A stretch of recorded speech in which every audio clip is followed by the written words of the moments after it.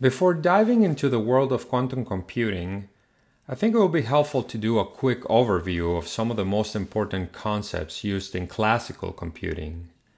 This will help some of you who are very new to the subject to get accustomed to some of the language and ideas behind computing systems. But more importantly, it will allow us also to establish some common notation on how we're going to express binary numbers, how we're going to implement digital circuits, and also highlight the contrast that exists between the classical and the quantum. So let's first start with the fundamental unit of information, which is the bit. And to do this, let's draw a parallel between decimal numbers and binary numbers. So decimal numbers have a fundamental unit called the digit, which can take values between 0 and 9. And binary numbers have a fundamental unit called the bit, which can only be 0 or 1. Now, obviously, we can construct numbers that are larger than these fundamental units by concatenating several of them. So in the case of decimal numbers, we can start from 0, 1, 2, all the way to 9. And then we just add another digit to the left if we want to continue counting, right? So 10, 11, and so on. Now, in the case of binary numbers, we can do exactly the same. We start with 0, then 1, then we do 1, 0, then 1, 1, and so on. So in general, we can express any binary number as a number b of the form b0, b1, all the way to bn minus 1, where this represents an n-bit binary number. And here, each of these elements, b sub i, where i can be 0, 1, all the way to n minus 1, can only take values of 0 or 1. So for example, we can have the number 1, 0, 1, 1, where this will be bit 0, bit 1, bit 2, bit 3. So this will be a 4-bit number, each taking values of 0 or 1. Now a very important concept when dealing with any number is that of the most significant digit or the most significant bit and the least significant bit. So in our numbers, we call the element most to the right the least significant bit, or LSB for short, and the element most to the left the most significant bit. And this will become very important all throughout quantum computing. But in this course, we will follow the convention that the least significant bit is always the one most to the right, just like we do with decimal numbers and binary numbers. So a reasonable question at this point is, given some binary number b, how can we find its corresponding decimal number, let's say x? So the way to do this is by taking each of the bits of our binary number and multiplying it by 2 raised to the power of the location of that bit. So for example, in general, we have x will be equal to b0 times 2 raised to the power of 0 plus b1 times 2 raised to the power of 1 plus all the way to bn minus 1 times 2 raised to the power of n minus 1. Now, it's important that we start getting used to some of the notation that we're going to be using all throughout quantum computing.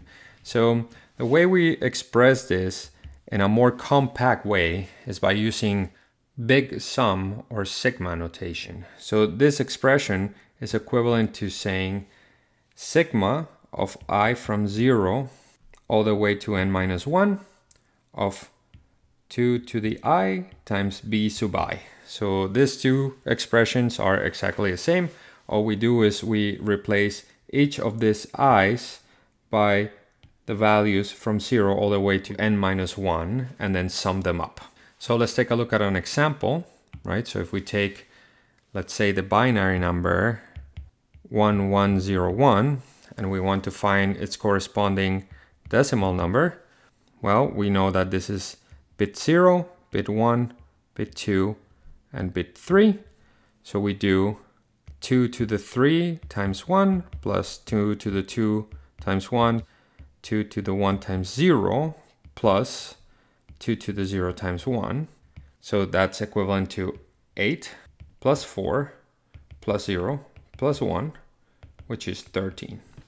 Now, what if we want to do the opposite? What if we are given some decimal number x and we want to find its corresponding binary number b?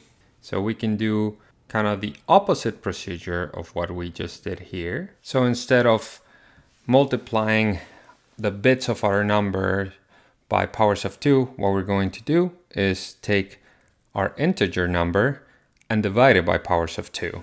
So let's take again the example of 13, and then let's look at the quotient, which is the integer part of the division and the remainder. And then let's first divide 13 by 2, which is 6, and the remainder is 1. And that's just because 2 times 6 plus 1 is 13, right? Then we take this 6 and then we divide it by 2. That's, that gives us 3 with our remainder of 0. And again, that's because 2 times 3 plus 0 is 6, right? And then we take the 3 and divide it by 2. That gives us a 1 with a remainder of 1. And then we take this 1 and divide it by 2, which gives us 0 with a remainder of 1. And we stop here because we've reached 0 in the quotient, right? And this is our binary number, 1101. Right? There's a more compact way to express this. So we can say that our binary number b is equal to the sum from i0 to n minus 1, where n is the number of bits we want to represent, of our decimal number x divided by 2 to the i. So basically what we're doing here is we're performing this division. So notice here that we divided by 2 and then here we divided by 2 again, so it's like dividing by 4 and then divided by 8 and so on. So what we're doing here is we're dividing from 2 to the 0, which is 1, all the way to 2 to the n minus 1. And then we're going to take only the integer part of that number, modulo 2, which is what's giving us the remainder here of this process. And this is going to give us just each individual bit, but if we multiply by 10 to the i, which is the, the bit number we want to express, it will give us the um, binary string that we want to get out of this number. And you can go to the textbook and there's an example there if you want to see exactly how this works. But the reason I'm writing this in this way that looks very complicated is to try to get you used to this type of notations that are going to come up over and over again in quantum computing. So I'm trying to show you that all these complicated symbols are simple operations we're going to perform and that you should not be scared of, of long expressions like this and start getting used to them. Now, even though understanding these conversions from binary to decimal and vice versa work, it becomes impractical when we just want to change these numbers uh, for some other setting. So we're going to rely on code to make these changes. And since this is a course on quantum computing using Python, we're going to do it in Python.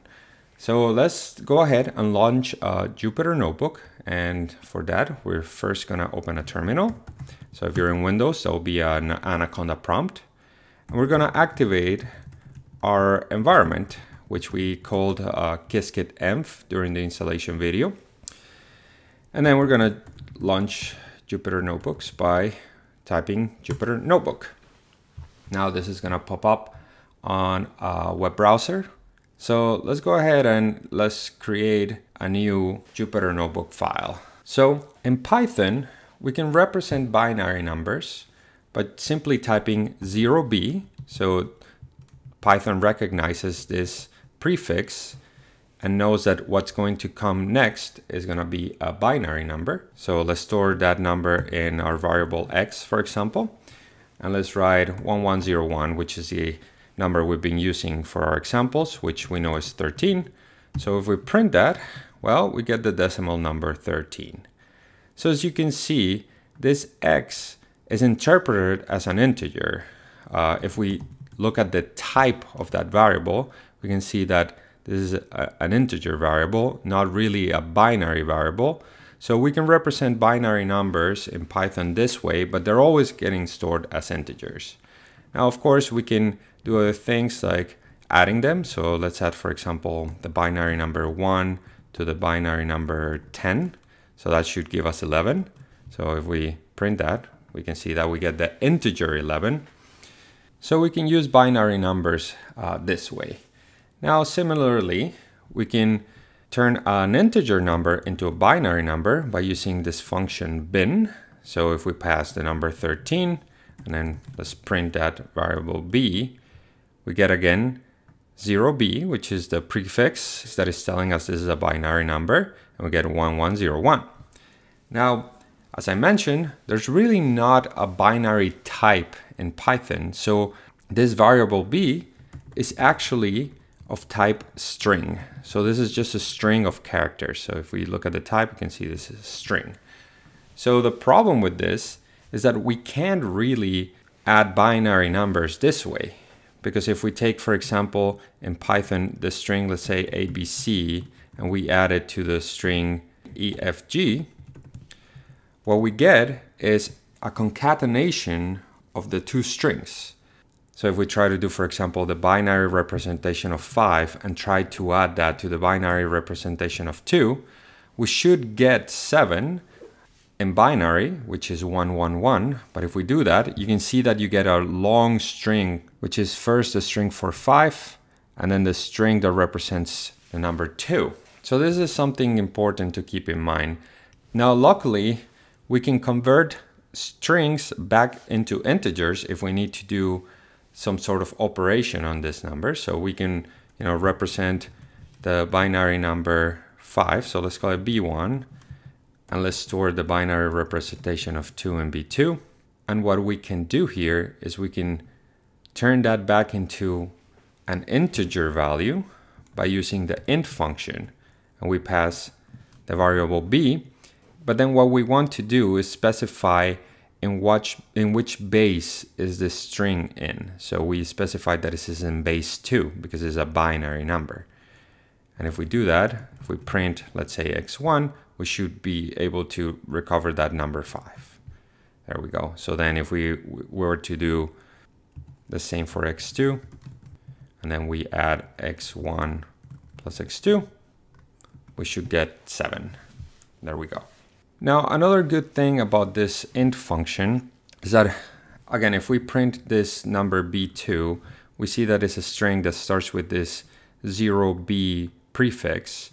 But this int function actually recognizes the strings even if we don't add the prefix. So let's say, for example, we have the number 13 again, right? So let's save it as a string. Let's call it b3, for example. If I now do int of b3 comma 2, I'm specifying that it's base 2, it's going to give me the, the right answer, even though I didn't add the, the prefix 0b. And if, if I add it, it, it gives me the same answer, of course. So in most situations, we're going to express binary numbers without using that prefix. Now, having to treat binary numbers as strings has a, a couple of issues. So I want to highlight two of them. So the first one is, let's say we want to print the binary numbers from 0 to 7. And we can do that with a for loop. So uh, we can do for i in range 8. So in Python, this function range is going to generate an iterator that goes from 0 to 7. And I can show you that just by printing i. So here we can see it goes from 0 to 7. And um, let's go ahead and store in this variable b the binary number or the binary string associated with this with this integer i. And if I go ahead and print that, we can see that one of the issues here is that for 0 and 1 is only using one bit. Then when it goes to 2, it uses 2 bits. And then when it goes to 4, it increases to 3 bits. But in a lot of situations, what we want is to always have the same number of bits. Now, again, as I said, a lot of times we're going to neglect the prefix of this number. So I can actually do that by storing in B the string starting from the second character on. So if I print that, I get the same, but now without that prefix. And now if I wanted to always have, let's say, in this particular case, uh, three bits for all of my numbers, we can use this function in Python called zfill. And what this is going to do is pad with zeros my string up to whatever number I put in here. So let's say I only want to have three characters in my strings, so I can put a three here. And then all of the strings I'm going to print now are gonna have a total of three characters. Now, if I want, for example, to express up to four, then I can just replace that by four. And obviously, you know, the number seven uh, only needs this three bits, so even that one gets padded with a zero. So this is one of the things that we need to keep in mind when dealing with binary numbers. Now there's a slightly simpler way to do this by using one of the most famous Python libraries, which is NumPy. So we could, instead of having to write all of this, which is, you know, calling this bin function, passing the integer, cutting off the prefixes, and then filling it up with, with or padding it with zeros, what we can do is import NumPy. So, so we do import numpy as np, and it's pretty standard to, to use these uh, two characters to, to import this library. And then we can use this function called binary representation, where we can just pass a decimal number and the number of bits we want to include for that number. So in this case, 13. If I add, so in the case in this case, I'm passing 13 with 4 bits, so I get the string 1101. So, you know, I could just go and replace all of this in this for loop with this, and it should just give me the exact same result. Now, the second issue is that, as we mentioned earlier in this video, when we're dealing with any number, decimal numbers, binary numbers, the least significant bit is the element most to the right in our number. So in this case, the least significant bit is this one, and the most significant bit is this one. But the way we index things like lists or even strings in most programming languages is that the zeroth element is always the one on the left. So if I were to do, for example, um, let's change this to the number 12. So, so we have our least significant and most significant bits to be different. Let's actually store that in a variable b and print it. And if we were to index this variable b with the zeroth index, well, this is this number, but a lot of times we get confused and we think that we're indexing the least significant bit because usually we express this as b0, this is b1, this is b2, this is b3. But if you print this, you can see that this is the first element on that string, which is the one to the left. So this is something we need to be super careful about. And it is really one of the things that confuses people the most when getting started with quantum computing. But this is not a quantum computing issue per se. It's just that we're used to indexing things from the left when we're dealing with lists or strings, but any number we want to represent has its least significant bit on the right. All right, so I think that's enough for this video. And the next one we'll start looking into Boolean logic, which is uh, gonna be a very important part of this process that's gonna allow us to then expand those ideas into um, the more general logic we use in quantum computing. Hope to see you in the next one.